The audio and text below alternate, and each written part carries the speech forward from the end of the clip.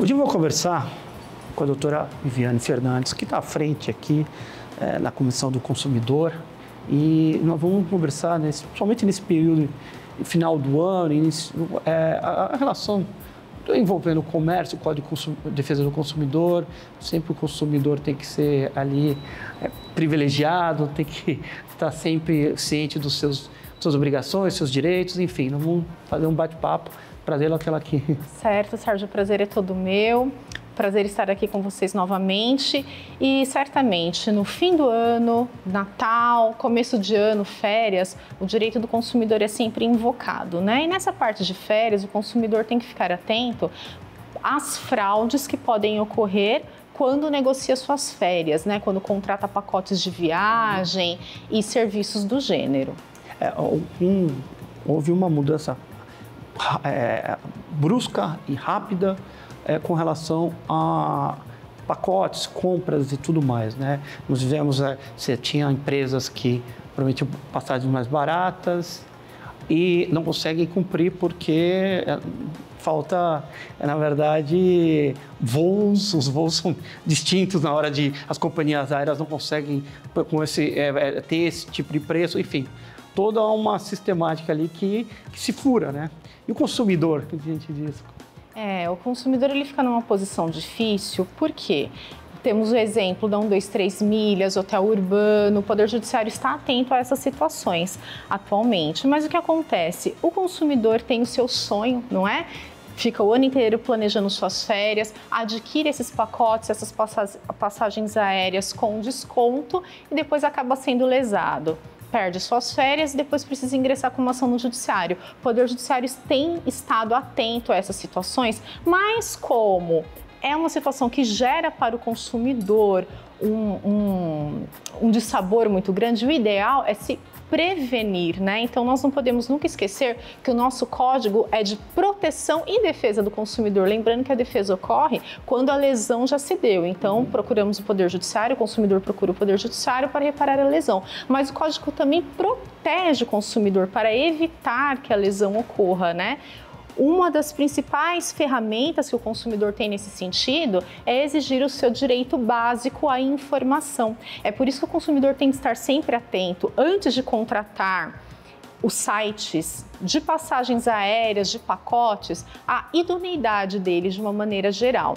Então, é recomendável que consulte os órgãos é, públicos, não é? Então, nós temos por exemplo, o consumidor.gov.br, nós temos famo as famosas redes entre os consumidores né, de, de, mensagens, como Reclame Aqui, por exemplo. Nós temos também o site Cadastur, turismo.gov.org.br. Lá também todas as operadoras de viagens podem ser analisadas pelos consumidores para verificar a regularidade. Então, o consumidor, nessa época, deve se prevenir porque para reparar as férias perdidas, depois ele precisará provavelmente ingressar com uma ação no judiciário. É, assim, você sabe, por mais, hoje em dia você tem avaliações pela internet e algumas empresas são bem avaliadas, você tem.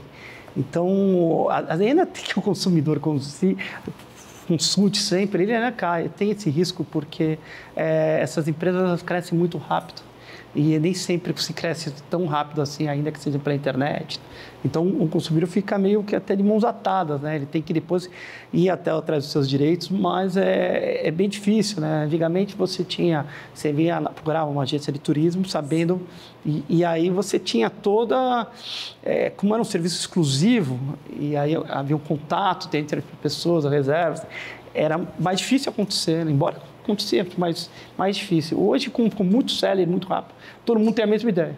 É verdade, esse é o principal desafio atual do direito do consumidor, porque as relações de consumo elas têm ocorrido cada vez mais online e não presencialmente, não é? Então, nesse caso, sempre é importante que o consumidor esteja atento à sua segurança digital. Então, verificar a idoneidade do site, se tem aquele cadeadinho, cuidado com pagamentos, evitar fazer pagamentos por Pix, por exemplo, do valor integral, sempre ter o registro de todas as negociações, prints de tela, e-mails. E um detalhe muito importante que às vezes o consumidor desconhece, tudo o que o fornecedor oferta, ele é obrigado a cumprir. Então, às vezes, o consumidor ele tem acesso a itinerários, preços em folders de divulgação. Esses folders de divulgação, esses panfletos, integram o contrato. Uhum. Então, é muito importante que o consumidor guarde toda essa documentação para, se necessário, poder providenciar a reclamação posteriormente. É, e agora, embora o assunto não seja o turismo, mas agora com a um Natal, Ano Novo, as pessoas compram até no, e muito pelo site também, né? E, e as, e quais, dentro dessas compras, às vezes o produto não chega, às vezes o produto vem errado. É, essa questão, como que você, você tem enxergado os, os, órgãos de consumo estão realmente protegendo? É, há uma, essa obrigatoriedade, se você não gostar, você pode devolver, porque você tem sites aí que são hospedeiros e você às vezes quer, não gostou, o produto veio diferente do que foi anunciado e aí você precisa como é que você. Essa, essa é uma pergunta sempre atual e, e, gera tantos questionamentos né, dos consumidores. Existem duas situações: quando nós compramos presencialmente e quando nós compramos à distância, ou seja, online. Quando nós compramos presencialmente, não há direito à desistência. Então, o consumidor ele só pode trocar aquele produto se o produto apresentar alguma falha. Todavia, se o fornecedor ofertar a possibilidade de troca em 30 dias, desde que a etiqueta esteja fixada, desde que seja apresentada a nota fiscal, então o consumidor tem direito a exercitar essa prerrogativa, né? Então trocar o produto ainda que sem falhas, desde que o fornecedor faça essa oferta a ele. Quando nós adquirimos um produto online, então nós temos, segundo o artigo 49 do Código de Defesa do Consumidor, a possibilidade de desistência em sete dias, desistência imotivada. Então, tendo ou não um produto falha, se eu não gostei do produto, eu posso simplesmente trocá-lo, não é?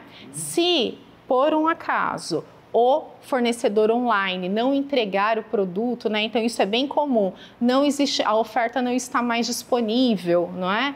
é não temos mais o produto. Então, como eu falei anteriormente aqui para vocês, a oferta vincula e o consumidor ele terá o direito de exigir ou o cumprimento forçado da oferta e aí o fornecedor que vai procurar junto a outros aquele produto para entregar ao consumidor ou a restituição do dinheiro ou outro produto equivalente. Isso é importante para as pessoas terem a ciência do quais são os direitos. É, o nosso ordenamento, o Código do Consumidor, artigo 49, ele difere um pouco do, a, a, legislação americana, por exemplo, a legislação americana que é mais costumeira e um, é um mercado feroz. Então, essa entrega, como há muito produto, é, se você não tiver, eles têm uma, uma abrangência maior, mesmo pessoal, eu não gostei, porque é uma concorrência muito maior e sempre foi. Né? E o nosso ordenamento ali é mais é conservadora ali. A, e aí ela não, não tem essa. Ainda que pessoalmente você se tem uma restrição para devolução. É também uma questão até cultural, é. né? Nos Estados Unidos, né? Todos já viram até em filmes isso, né? A pessoa adquire, não gostou, troca, pega o dinheiro de volta. Não é assim que funciona no Brasil, não. Não, né? É, é porque lá também não é uma. É realmente como é como há uma, uma competitividade e não é um ordenamento, né? Ali é, é costumeiro, são então, não, acho que há uma jurisprudência já com relação a essas questões desde sempre. E aqui não, aqui houve uma. É, Para você ter a devolução, é, é com nessas características que você colocou, nesses detalhes aqui. Enfim, eu, eu acho que houve uma evolução muito grande. E aí, eu, até o nosso ordenamento ele está se adaptando bem à tecnologia. É, é lógico que ainda com a tecnologia há muita fraude é, ou, no caso, empresas que crescem e não conseguem entregar o que é prometido, como foi os casos dessas agências de, de, passagens, essas, essas empresas que ofereciam passagens mais baratas. Eles não conseguem, essa, é, não tem tanta oferta e é muita procura de passagem. Exato, exato. E o consumidor acaba sendo prejudicado porque, vejam só no caso da 123 milhas, não é? Pedido de recuperação judicial, se não conseguir efetuar essa recuperação, cumprir o plano, então provavelmente será decretada falência, e nesse caso nós sabemos que quem tem preferência para, de, para receber o pagamento são os credores trabalhistas, não é? Não é o credor consumidor. Então, realmente é muito importante que o poder público, os, as entidades de defesa do consumidor estejam sempre atentas a, a a esse tipo de comércio, de comercialização, porque o consumidor ele pode ser muito prejudicado à frente caso exista, mesmo um pedido de recuperação judicial seguido de falência. Por isso que é bom sempre o consumidor pesquisar. Bons preços são atrativos? São atrativos, mas verifiquem sempre a idoneidade daquela proposta. É, e o, o Brasil é um país de consumo. O Brasil consome, mas o Brasil também é um país que sempre ele mexe tem crise, ó, poder de compra diminui, inflação, qualquer que seja. Então, é, o brasileiro talvez hoje, em razão de viver sempre nesse, nessa instabilidade, desde sempre, salvo alguns períodos, é, ele acaba tendo um, encontrando é, meios para poder não cair em golpes e tudo mais. E a, a tecnologia, eu acho que, essa, que vem uma nova geração ainda, que está familiarizado com isso daí, com, o celular e tudo mais. Então, a, a, ideia é que com o código, que é o guardião do consumidor, é, o, o, o, o, consumidor possa, assim, se precaver e criar uma educação até com relação ao consumo, né? Exatamente isso. Nós temos a chamada Lei do E-Commerce, que na verdade é um decreto, né? Uhum. Como nós sabemos, o Código de Defesa do Consumidor é de 1990, mas ele é amplo, ele é genérico, ele é principiológico. Então, nós conseguimos aplicar essas premissas do CDC para proteger o consumidor mesmo nessas relações online que não haviam sido previstas naquela época. Temos esse decreto do e-commerce, né, que regulamenta ainda mais a questão, mas ainda precisamos de mais detalhamento para que o consumidor possa ser ainda protegido de forma forma mais contundente. Existe projeto de lei sendo discutido sempre para ampliar e atualizar o Código de Defesa do Consumidor nesse sentido. Mas o cuidado do consumidor e, como você muito bem disse, a educação para o consumo, isso sempre vai ser primordial. É, mas é, é importante realmente, porque está é, é, sendo inventado, como você me colocou, é, nós nos baseamos através dos princípios do CDC, que são, são é muito, talvez uma das melhores legislações do mundo, é, com relação Código de Defesa. O problema não, é sempre o costume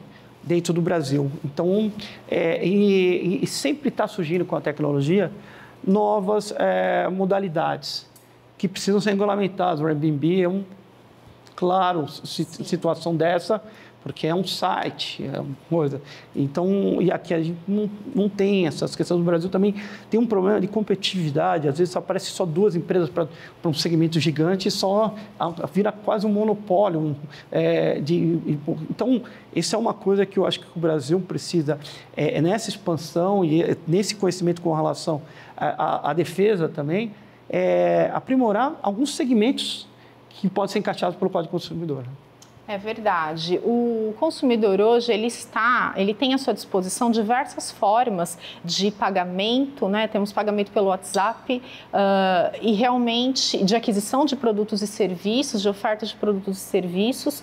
O que acontece é claro que nem a legislação e nem o poder judiciário conseguem acompanhar esse dinamismo, não é? Então o consumidor ele acaba sendo exposto mesmo a essas novas práticas. Por isso que é ideal que ele esteja sempre atento a, a sua proteção digital. Então, o consumidor bem informado hoje é o consumidor que sabe se comportar digitalmente, é o consumidor que sabe proteger os seus dados, é o consumidor que sabe consultar se um site é ou não confiável, que sabe consultar a reputação de fornecedores. Então, quem for consumir no mundo digital deve entender que está isso atrelada à ideia também de educação digital é, não é possível esperar pela lei pelo judiciário para que essa proteção ocorra. Isso depende muito do próprio consumidor. É, eu acredito que ah, o consumidor, até pela gama que tem de oportunidades, é, ele acaba,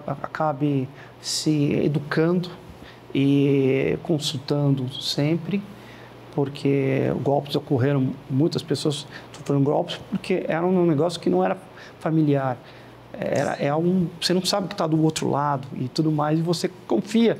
E, mas é com o tempo passando e, e também essas questões foram os golpes, principalmente, é, é, os bancos foram sendo responsabilizados é, por causa e tem que ter seguro, banco e tudo mais. Enfim, eu acho que é um universo hoje é, mais que para o consumidor, o universo do consumidor bem mais segmentado, bem mais é, forte e regulado.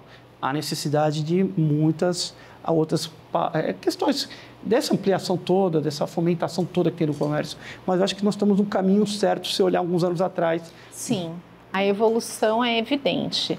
Por exemplo, o site do Airbnb mesmo, né? Então, o próprio consumidor ele tem ferramentas para avaliar a seriedade ou não daquela proposta, né? Daquela acomodação que está sendo oferecida. Ele pode verificar a as opiniões dos hóspedes anteriores, ele, as avaliações, ele pode entrar em contato com o, o, anfitrião, né? Então vejam só, existem várias faixas de preço, existem fotografias e existem comentários. Então veja, o consumidor ele mesmo pode se valer dessas armas para poder se defender.